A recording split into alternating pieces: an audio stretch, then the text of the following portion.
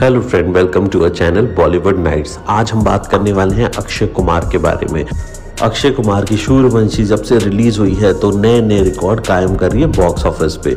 अगर बात करें पहले दिन की कलेक्शन के बारे में, अक्षय कुमार की सेकेंड नंबर पे हाईएस्ट ओपनिंग कलेक्शन की है सूर्यवंशी ने।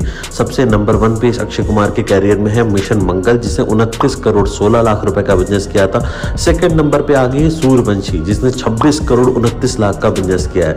लेकिन रुकिए रुकिए, इसमें भी कैच है।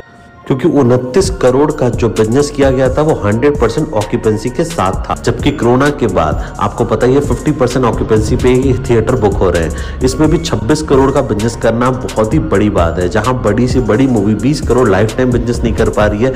यहाँ पर पहले दिन ही छब्बीस करोड़ रुपए का बिज़नेस किया है सूर्यवंशी ने।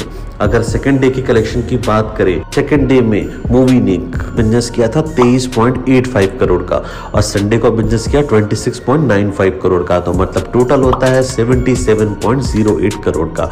और जो कि वन ऑफ़ द हाईएस्ट है इस साल के लिए तो है ही है। और अगर हम नॉर्मल टर्म्स में बात की जाए तो काफ़ी अच्छी ओपनिंग लगी है वीकेंड स्पेस को। अब आप सोच रहे होंगे कि बाकी मूवीज़ लाइफ टाइम में 20 करोड़ भी नहीं कर पा रही थी, ये मूवी इतना बिज़नेस कैसे करी? क्योंकि रोहित शेट्टी ने काफ़ी ज़्यादा एनालाइज किया है इस पूरे पेंडेमिक माहौल को और इसके बाद उन्होंने एनालाइज करने के बाद थिएटरों से बात करी और उसके बाद ये मूवी रिलीज़ की गई है।